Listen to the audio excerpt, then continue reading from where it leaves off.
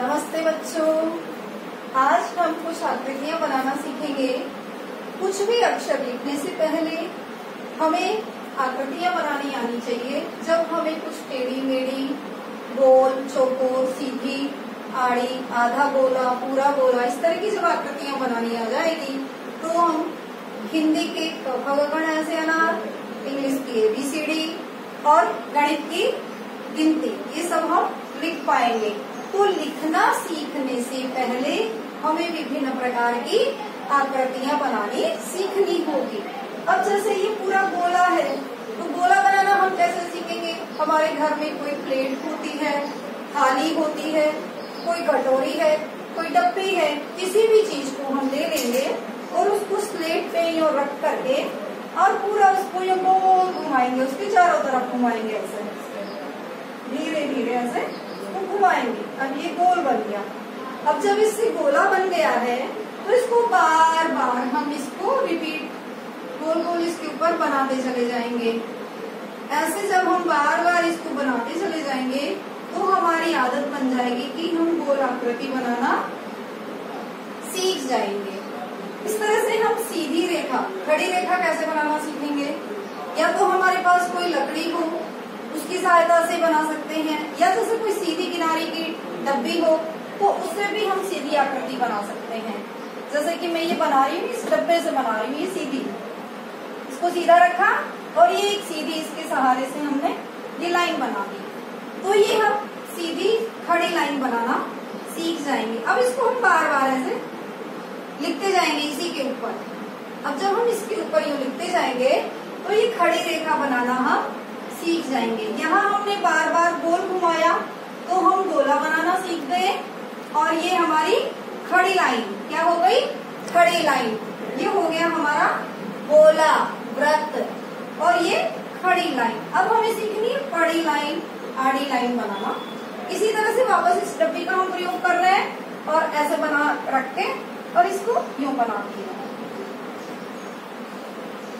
ये हमारी बड़ी लाइन हो गई। इस तरह से इसको हम बार बार इसके ऊपर लिखते चले जाएँगे। तो ये हमारी पड़ी लाइन हम बनाना सीख जाएँगे।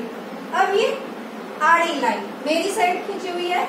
आड़ी लाइन, यानी ये मेरी तरफ़ लाइन है इधर। तो ये मेरी साइड आ गई, मेरी आड़ी लाइन। इस तरह से इस डब्बे को हम टेढ़ा रख लेंगे।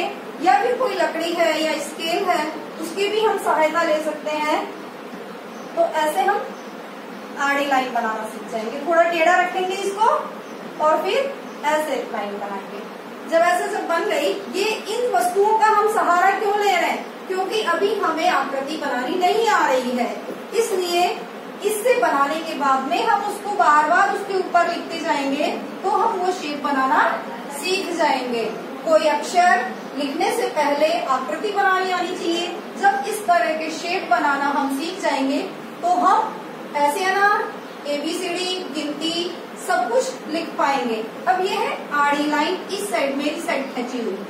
अब ये बार बार हम इसके ऊपर लिखते चले जाएँगे, आड़ी लाइन के ऊपर पड़ी लाइन के ऊपर, खड़ी लाइन के ऊपर गोले के ऊपर।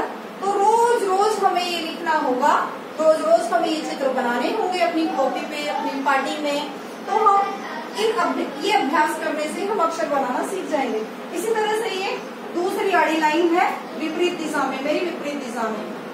जैसे ये मेरी साइड होगी तो ये मेरी आड़ी लाइन। और ये आपकी साइड मान लेते हैं तो ये आपकी आड़ी लाइन होगी।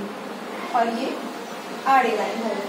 बार बार हम इन आकृतियों को रोज बनाएँगे, रोज उनके ऊपर बार बार ऐसे घोटते जाएँगे, लिखते जाएँगे रिपीट रिपीट करते जाएँगे तो हम इन आकृतियों का अभ्यास करने से जब हम ये आकृतियाँ बनाना सीख जाएँगे तो हम अक्षर लिख पाएँगे। अब ये है आधा गोला। यहाँ तो हमने पूरा बना दिया था।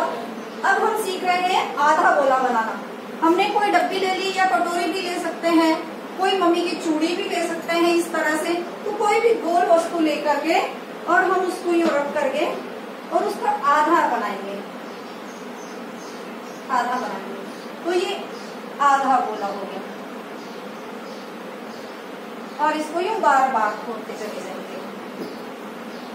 ये हो गया आधा गोला इसी तरह से इस गोले को उल्टा गोला भी बना सकते हैं ऐसा।